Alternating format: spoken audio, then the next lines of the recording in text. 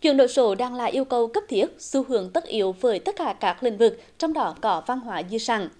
Nắm giữ trọng trách quản lý một kho tàng di sản văn hóa đa dạng cả về vật thể và phi vật thể. Việc ứng dụng công nghệ thông tin, chuyển đổi số được Trung tâm Bảo tồn Di tích Cố đô Huế xác định là một trong những nhiệm vụ trọng tâm cần đẩy mạnh thực hiện một cách toàn diện trong giai đoạn 2022-2025. Xem đây là công cụ giải pháp hữu hiệu nhất để duy trì, gìn giữ, phát huy và nâng tầm các giá trị di sản văn hóa của cha ông.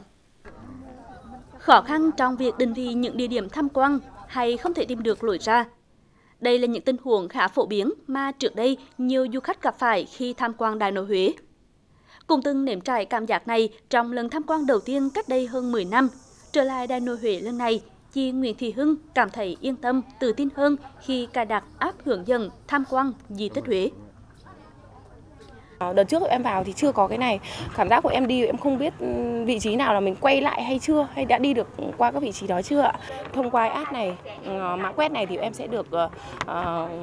quan sát thông qua điện thoại. Rất thuận tiện cho em là chúng em không không phải bỏ qua một cái cái khu vực di tích nào ở đây. Và rất thuận tiện cho em khi tìm hiểu ạ. Rất ít người biết đọc chữ Hán mà có biết cũng không thể đọc được bởi chữ khắc trên các bia tiến sĩ ở Văn Miếu Huế đã bị phai mờ theo thời gian. Sau một quá trình thực hiện từ những công đoạn thủ công trong dập văn bia đến khâu xử lý nội dung để quẹt QR, Mới đây, Trung tâm Bảo tồn Di tích Cố đô Huế đã tiến hành đặt mã QR tại 16 trên 32 bia tiến sĩ ở Văn Miếu. Không chỉ cung cấp thông tin về tên tuổi, quê quán của những vị tiến sĩ đổ cả kỳ thi hồi giữa triều nguyện, việc quẹt mã QR còn liên kết đường dẫn vào trang web với những bài nghiên cứu chuyên sâu dành cho những ai quan tâm app tham quan di tích Huế và mã quét QR tại Văn Miếu là hai trong số nhiều nội dung phần việc ứng dụng chuyển đổi số để quản lý, nâng cao chất lượng phục vụ du khách của đơn vị trong năm 2022 này. Trung tâm cũng đã hoàn thiện cái cổng thông tin điện tử và đưa vào vận hành hai cái fanpage của trung tâm để giúp người dân tiếp cận thông tin được nhiều hơn. Bên cạnh đó thì các ờ, cổng thông tin điện tử cũng được ờ, sử dụng ờ, song ngữ là tiếng Việt với tiếng Anh. Cái thứ hai là đã đưa vào vận hành hệ thống vé điện tử, triển khai hệ thống app. Trước hết là tại Đại Nội Huế thì du khách có thể là cài đặt các ứng dụng app để truy cập được nhiều thông tin hơn. Bên cạnh đó thì cũng đã đưa vào cái dịch vụ trải nghiệm thực tế ảo và thực tế ảo tăng cường. Không chỉ góp phần tăng tính hấp dẫn sự trải nghiệm cho du khách, các giải pháp chuyển đổi số liên quan đến các lĩnh vực chuyên môn cũng được đẩy mạnh thực hiện trong những năm qua đặc biệt là trong số hóa tài liệu hiện vật phục vụ công tác nghiên cứu, quản lý, quảng bá và phát huy giá trị của di sản. Lầu Tàng Thơ hiện là nơi lưu trữ các nguồn sử liệu, tư liệu liên quan đến trương huyền, cùng những tài liệu hồ sơ tất cả các di tích, hồ sơ khoanh vùng bảo vệ, hồ sơ trùng tu di tích, vân vân. Song song với phương pháp lưu trữ truyền thống, hiện nay đơn vị đã thực hiện số hóa gần 40.000 trang tài liệu phục vụ cho nhiều mục đích khác nhau.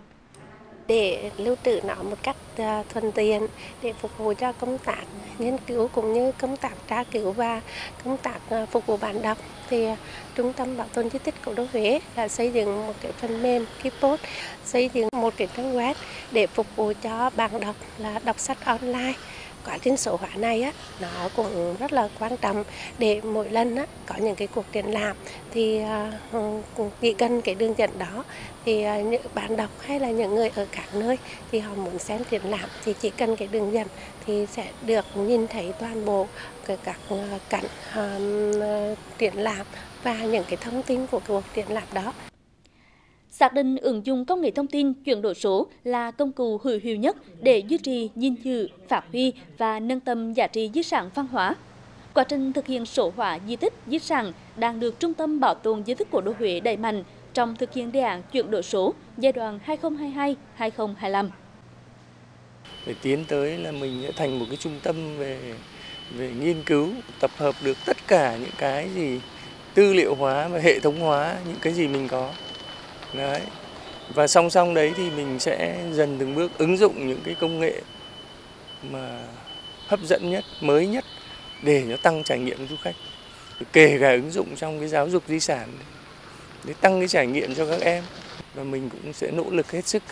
để mà thực hiện được thành công cái đề án. Mà quan trọng không phải thực hiện thành công đề án, mà quan trọng là mình làm cái tốt cái mảng phát huy giá trị di sản. Đưa vào vận hành và sử dụng hệ thống phần mềm lưu trữ dữ liệu, hoàn chỉnh sổ hóa các tư liệu, vận hành cập nhật hệ thống quản lý dữ liệu cây xanh, sổ hóa 3D, VR các điểm di tích là một số nội dung trọng tâm Trung tâm Bảo tồn di tích Cố đô Huế sẽ thực hiện trong năm 2023.